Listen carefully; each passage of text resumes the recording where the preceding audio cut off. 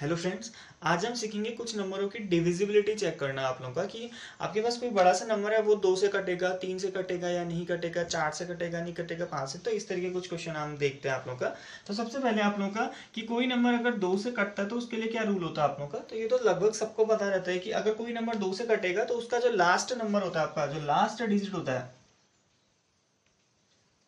अगर last digit में आपका इवन नंबर है तो वो नंबर आपका पक्का आपका दो से कटेगा ही कटेगा। हो जाएगा? तो ये होता है आपका दो से कटने के लिए आपका रूल की लास्ट डिजिट क्या होना चाहिए आपका? इवन नंबर होना चाहिए। इवन नंबर मतलब दो, चार छ आठ या ज़ीरो इस तरीके के नंबर लास्ट प्लेस में अगर ये है तो दो से कटेगा।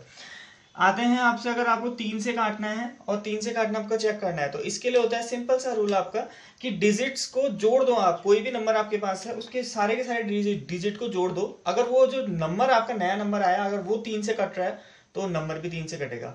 जैसे एक एग्ज़ाम्पल में देता हूँ आपके पास, चार चार चार। आपके पास ये कोई नंबर है आप लोगों का फोर फोर फोर चार सौ चौवालीस, इसको देखने की तीन से कट रहे नहीं कर रहे तो मैंने क्या कहा आप लोगों का कि सारे डिजिट्स को जोड़ दो तो चार चार चार बार हो गया, बारह तीन से कटता है ना? तो ये भी आपका कटेगा। तो बस सिंपल सा रूल है इसके लिए कि डिजिट्स का जो सम है, अगर वो कट रहा है तीन से तो ये भी कटेगा आपका। नेक्स्ट है आप लोगों का। अगर आपको चेक करना है, कोई नंबर चार से कटेगा या नहीं कटेगा तो इसके लिए देखते हैं हम लास्ट के दो डिजिट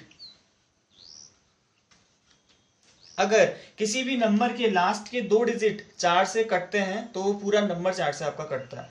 जैसे मान लीजिए आपके पास ये कोई नंबर है ठीक हो गया? तो पूरे नंबर को चेक करने से अच्छा हम क्या करेंगे सीधे? लास्ट के दो डिजिट देखिए, अट्ठाईस। और ये अट्ठाईस आपका चार से कटेगा आपका। चार के टेबल में आ जाता है आपका अट्ठाईस। तो ये पूरा नंबर ही आपका चार से कैंसिल हो जाएगा। इसके बाद आता है आपके पास, आपका कोई नंबर आपका पाँच से कटने वाला है या नहीं कटने वाला है तो पाँच से क्या? ये तो सबको पता रहता है। अगर इसके लिए लास्ट डिजिट लास्ट का जो डिजिट है, अगर वो ज़ीरो हो या पाँच हो तो वो नंबर आपका कट जाता है आपका पाँच से। अगर आपको चेक करना है नेक्स्ट है आप लोग का पांचवा। अगर आपको छह से डिविजिबल चेक करना है कि कोई नंबर छह से कटेगा या नहीं कटेगा तो इसके लिए होता है, देखो, छह का मतलब होता है आपका दो गुणा तीन। अगर कोई नंबर छह से कट रहा है, इसका मतलब है वो दो से भी कटेगा साथ में, तीन से भी कटेगा आपका। तो इसके लिए रूल होता है आपका कि दो से कटने के लिए लास्ट नंबर इवन होना चाहिए। तो छह से जब आप काटना देखते हैं तो एक तो ये होना चाहिए कि लास्ट का नंबर इवन होना चाहिए, और साथ में तीनों नंबर्स को जोड़ के वो तीन से कटना चाहिए। तो ये दोनों रूल अगर फॉलो हो रहे हैं तो वो छह से पक्का कटेगा आपका। नेक्स्ट आता है आपका सेवन के लिए। देखिए सेवन के लिए हम ऑस्क्यूलेटर मेथड में जाते हैं और इसका नेक्स्ट वीडियो में ऑस्क्यूलेटर मेथड आपका डालने वाला हूँ। ठीक हो गया? तो अगर सेवन का चेक करना है तो आप वो देख सकते हैं आप लोग का। हम आते हैं सीधे आप लोग एट पर। अगर कोई नंबर आपका एट से कट रहा है या नहीं कट रहा है, आपको ये चेक करना है। तो एट से चेक करने के लिए हम क्या करते हैं ना नंबर के लास्ट के तीन डिजिट देखते हैं। जैसे दो के केस में बस लास्ट डिजिट चार के केस में लास्ट के दो डिजिट वैसे ही आठ के केस में लास्ट के तीन डिजिट और अगर लास्ट के तीन डिजिट आपके अगर आठ से कट रहे हैं, किसी भी नंबर के लास्ट के तीन डिजिट अगर आठ से कट रहे हैं तो पूरा नंबर आपका आठ से कटेगा। हो जाएगा? चलो नेक्स्ट है आप लोगों का कितना? नाइन तो नाइन के लिए वही सेम रूल आप लोगों का। अगर ये डिजिट्स का सम आपने जो कोई नंबर लिखा, उसका डिजिट्स का सम अगर नाइन से कटता है तो वो पूरा नंबर भी आपका नाइन से कटेगा। जैसे यहाँ था ना आपका, ये डिजिट का सम बार आ रहा था, वो तीन से कट रहा था तो पूरा नंबर तीन से कटेगा।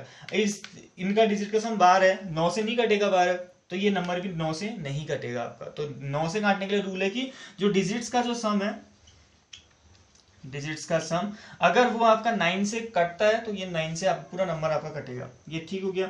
नेक्स्ट होता है आपके पास ग्यारह। कोई नंबर ग्यारह से कट रहा है या नहीं कट रहा है।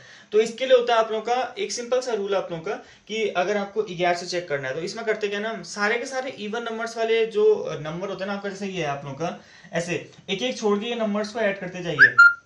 अल्टरनेटिंग ऑर्डर में जो भी नंबर आ रहे हैं, उनको ऐड कर दीजिए तो ये हो जाएगा सात और चार आप लोगों का कितना? ग्यारह। और जो बचे हुए नंबर है, उनको भी जोड़ दीजिए। ऐसे। तो हो जाएगा तो ये बन जाएगा तीन, दो, पाँच और तेरह। तो अगर ये दोनों नंबर आपका क्या होता है ना आप लोग का या तो बराबर हो, तब ये पूरा नंबर आपका ग्यारह से घटे। ठीक हो गया? या फिर दोनों को घटाने के बाद जो भी नंबर आ रहा है, वो ग्यारह से अगर डिविजिबल होता है मतलब ग्यारह के टेबल में आता है, तब भी। अभी वाले केस में ना दोनों बराबर हैं और ना इन दोनों को घटा के, तेरह में से ग्यारह घटा के क्या आ रहा है आपका? दो। और दो कहाँ ग्यारह के टेबल में आता है आपका? तो मैंने ये कहा आप लोगों का कि ग्यारह से चेक करना है तो क्या करते हैं? ऑल्टरनेट ऑर्डर में नंबर को ऐड करो। उन दोनों का डिफरेंस देखो। अगर डिफरेंस ज़ीरो है या फिर ग्यारह के टेबल वाला कोई नंबर है तो वो ग्यारह से कटेगा। अदरवाइज़ नहीं कटेगा आपका। हो जाएगा। तो ये हैं आपके कुछ रूल्स